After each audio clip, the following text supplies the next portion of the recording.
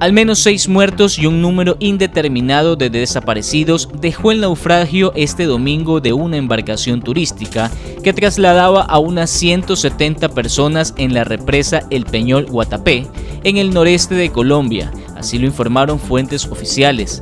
El gobernador de Antioquia, Luis Pérez, y la Unidad Nacional para la Gestión de Riesgos reportaron seis personas muertas, entre ellos cuatro mujeres y dos hombres. El responsable habló de alrededor de 170 personas a bordo del Almirante, una embarcación de cuatro pisos que naufragó alrededor de las 2 de la tarde, pero enfatizó que el número total de desaparecidos es indeterminado.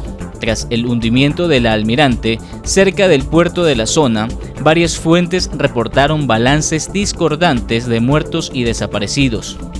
En un video que circuló en redes sociales, se observa cuando la nave se hunde rápidamente y docenas de embarcaciones se acercan al lugar para rescatar a sus ocupantes. El presidente Juan Manuel Santos se trasladó a la zona para atender la emergencia e indicó que expertos de la Armada llegarán este lunes al lugar para investigar las razones del naufragio. Las operaciones de rescate, a cargo de buzos de la policía y los bomberos, se suspendieron debido a que hay tormentas eléctricas sobre el embalse y se reanudarán a primera hora de este lunes. La represa del Peñol Guatapé es uno de los principales sitios turísticos del departamento y este lunes se aprestaba a recibir un flujo indeterminado de personas ya que en Colombia es feriado.